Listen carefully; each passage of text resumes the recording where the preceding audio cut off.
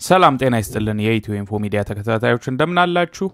ቤል ጊብሰን የተባለች አንድ አውስትራሊያዊት ይቺ አውስትራሊያዊት እንግዲህ የምትታወቀው ካንሰር አለብኝ ብላ social media ላይ ወጥታ የ brain cancer የአእምሮ ካንሰር አለብኝ ብላ ከዛ በኋላ application ኖች፣ የምግብ አበላል ዘዴዎች ምናምኖችን በመለጠፍ ካንሰሩ ሙሉ ለሙሉ እንደ ተሻላት እና በዛም ምክንያት እነዚህን እኔ የተጠቀምኳቸውን ነገሮች ተጠቀሙ ብላ application ኖችን በሽያጭ መጽሐፎችንና የተለያዩ የምግብ አማራጮችን በማቅረብ ብዙ ገንዘብ ካጋበሰች በኋላ በ2017 ይቺ ሴት ምንም ካንሰር እንዳልነበረባት ታውቆ አጭበርባሪ ተብላ ተፈርዶባት ወደ 410 ሺህ ዶላር እንድትከፍል ተደርጎ ተሰናብታለች ማለት ነው። እንደውም ከተፈረደባትም በኋላ የት እንዳጭበረበረች ብዙ ዶክሜንታሪዎች ተሰርተዋል። ብዙ የዩቲዩብ ቪዲዮዎች አሉ።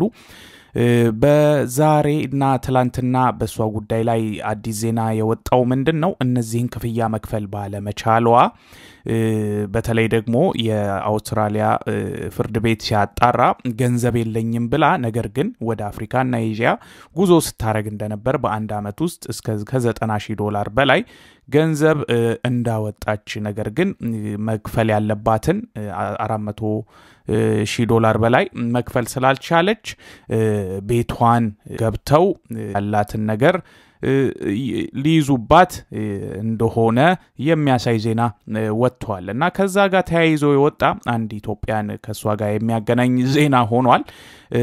በ2019 ኦክቶበር ላይ ከአንድ ቪክቶሪያ ኦሮሞ community ውስጥ ካለው ሰዎች ጋር ሆና በኦሮምኛ ራሷን አስተዋውቃ መቃሲሌ ኒጋፍናኒ ወልወለዳ ሲልን ጀናን መካን ከየስ ቦንቱ?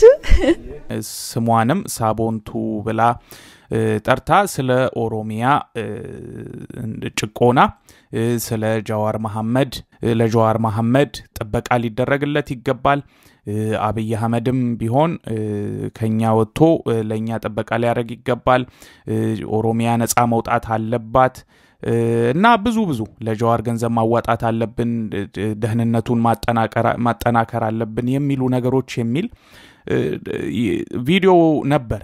ያ ቪዲዮ ወጥቶ እንግዲህ የኦሮሞ community ው ሰብሳቢ በሚጠየቅበት ሰዓት ይህ ሰውዬ የአውስትራሊያ ኦሮሞ community association ሰብሳቢ ነው፣ ፕሬዚዳንት ነው። ታረቀኝ ዶክተር ታረቀኝ ጭሚዲ ይባላል እና ዶክተር ታረቀኝ እንዳለው ምንም ስለዚህ ሴትዮ የታሪክ ምናቀው ነገር አልነበረም። እሷ አራት ዓመት ሙሉ በኦሮሞ ታቅፌ አሁን ራሷን የዛ አባል አርጋ ነው የምታየው። ያለውንም ትግል አብራ እንደምትታገል አርጋ ነው የምታወራው። ነገር ግን ሰውየው ያንን እንደማያቅ ከአንድ ሁለት ሶስቴ ብቻ አይቷት እንደሚያቅ ዝም ብላ ስትመጣም ያው እንደ ማንኛውም አንድ ተራ ሰው ያዩዋት እንደነበር እንጂ ከዛ ውጪ ሌላ ምንም አይነት ግንኙነት እንደሌላት ተናግረዋል። ግን እንግዲህ ይህ እንትኑ ላይ እንደሚታየው የእሷ ቃለመጠይቅ አጭር ቃለመጠይቁ ላይ እንደሚታየው እንደውም እንደ አንድ የኦሮሞ ተጽዕኖ ፈጣሪ ምን መደረግ አለበት? አብይ የተፈለገውን ያህል ለውጥ እያመጣ አይደለም። ስለዚህ ምን ትያለሽ? ጃዋር ላይ ስለሚደረገው ነገር ምን ትያለሽ? ስለ ኦሮሞ ሕዝብ ምን ትያለሽ? ሁሉ እያሉ ነበረ እንግዲህ ሲጠይቋት የነበሩት። ሴትዮዋ አጭበርባሪ ነች። ያው የዛ ያለውንም የኦሮሞ community አጭበርብራ ነው እንግዲህ ያለችው። በሆነ አጋጣሚ ገንዘብ የምታገኝበትን መንገድ ነው የፈለገችው።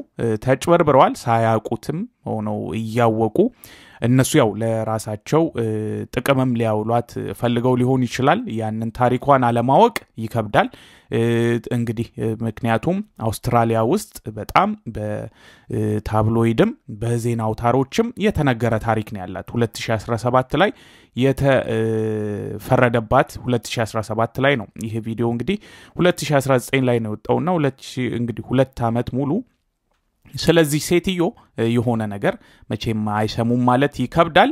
ነገር ግን የ community ው ፕሬዚዳንት የሚያውቁት ነገር ምንም እንደሌለና ከእንደዚህ አይነት ጸያፍ ስራ ከሰራች አጭበርባሪ ሴት ጋር የኦሮሞ community እሷን እንደማያቃት እና ሁለት ወይ ሶስት ወር በላይ ያልሆነ ጊዜ እንዳልመጣች ነው እንግዲህ እንትን ያሉት። የሚገርም ዜና ነው ማለት ሴትየዋ እንግዲህ እውነቱን ለመናገር ምን አይነት ምን አይነት አላማ ይዛ እንደመጣች ለማወቅ ይከብዳል። ግን በተወሰነም ደረጃ የዛ ያለውን የኦሮሞ ኮሚዩኒቲ የኦሮሞ ማህበረሰብ አውስትራሊያ ውስጥ ያሉትን በተለይ ቪክቶሪያ ውስጥ ያሉትን አታላቸዋለች። እንግዲህ ከዛ በገንዘብም ወስዳም ከሆነ ወይ ደግሞ ሌላም ነገር ካለ እንግዲህ ቀስ ብሎ የሚወጣ ይሆናል። ታሪኩ ግን አስገራሚ ስለሆነ እንድናካፍላችሁ ወደን ነው ይዘንላችሁ የመጣ ነው። ስላዳመጣችሁ እናመሰግናለን።